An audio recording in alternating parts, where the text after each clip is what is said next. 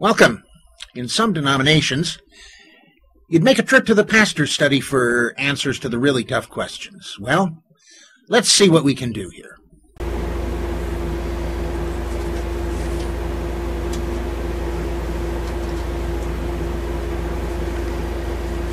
Merry meet, as the saying goes. Depending on your where you associate with us, I'm Aidan Odinson, High Priest of the Temple of Gaia, or Bishop Cal of the Universal Episcopal Church. And I love both roles. And I see them. I see myself as building a bridge. You heard me talk about that last time. Well, I want to give you some specifics this time. Well, at least your bridge. And I'm not going to talk about who, if you're thinking I'm going to talk about, well, this individual in this pantheon was the same as this individual in this pantheon, and oh, look at how this story sounds just like this other story. No, I'm not going to. We've got more important things. I am going to relate between what I just put out on the Secrets in Plain Sight and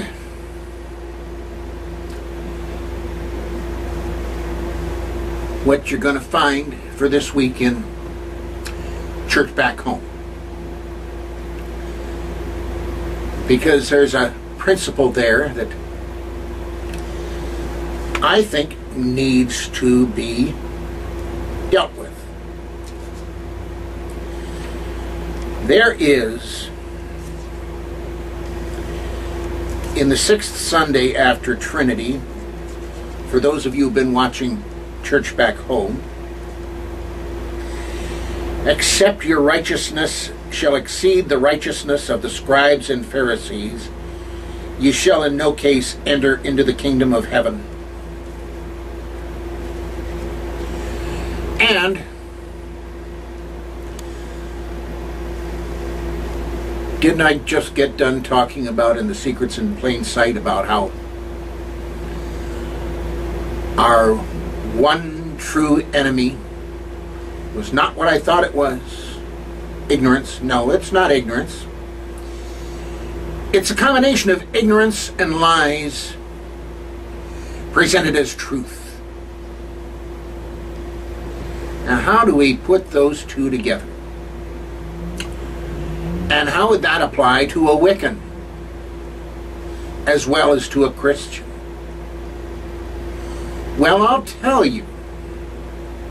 And it doesn't matter whether your prayers or whatever you call them are directed to Cernunnos, El Shaddai, Mar Yeshua, Thor, Odin, Amitabha, otherwise known as Amida Butsu to the Japanese. Doesn't matter. What was the righteousness of the scribes and Pharisees? Nitpicking. That's what it was. Nitpicking.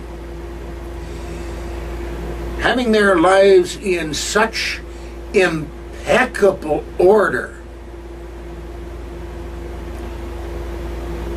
that you could practically tell what they were going to do by looking on the calendar and on the list of do's and don'ts.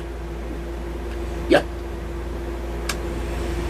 And those Pharisees would have their nice, proper clothes, their waxed beards, and all that. And that was their righteousness. Now, if you've ever taken any kind of business administration or public administration courses, or any kind of leadership courses or management courses, you would know that as being the difference between form and substance. And in the Christian Bible, Jesus goes even further.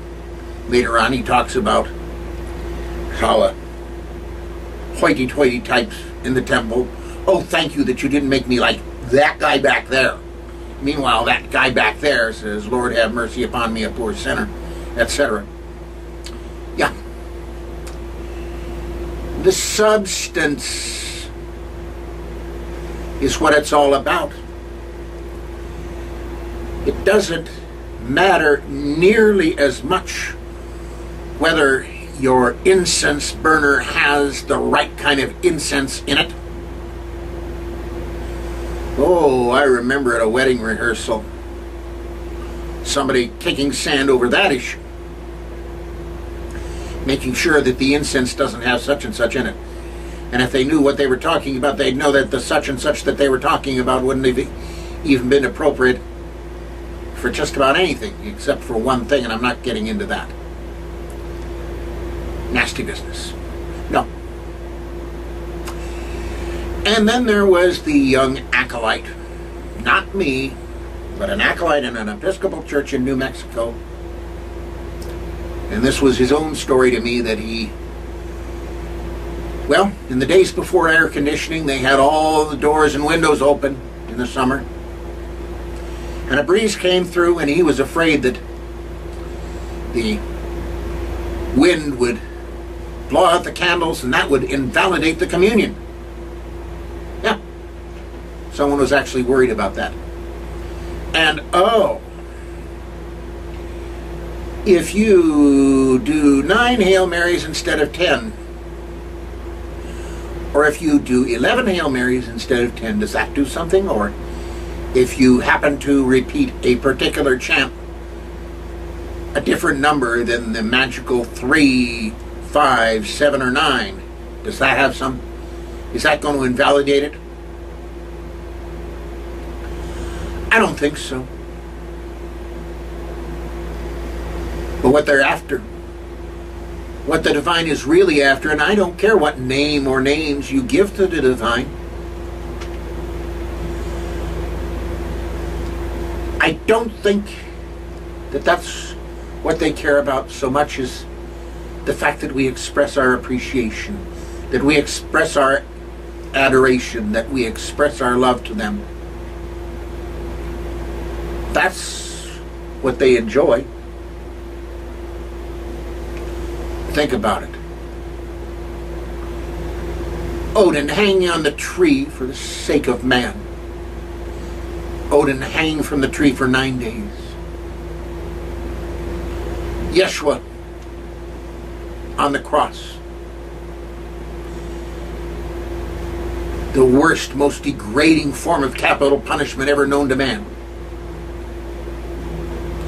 and so many others. Comes from love. And if you don't, if you want somebody to love you, one of the things that you do not do is make them be afraid of you. You don't, that's where the word fear, I kind of cringe because people get that wrong. In the Elizabethan era, fear could just as easily mean respect as being afraid. And no, I don't think any god or goddess wants you to be afraid. They do want respect, but they don't want you to be afraid. And so let's put the nitpicking behind. Form is nice, but let's not trip over ourselves on it. And let's not use substance as an excuse to ignore the form when we should be paying attention to it. But let's also pay attention to what we're doing this all about and what we're doing it for and understand the substance and seek that. Do that and we'll accomplish something. I say we because I'm including me in that. Blessed be.